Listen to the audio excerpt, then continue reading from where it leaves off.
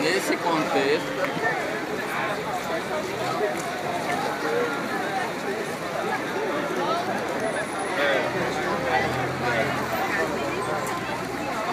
Eu acho que.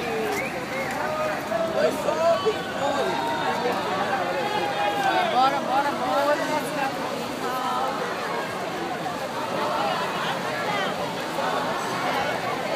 Bora, Temer!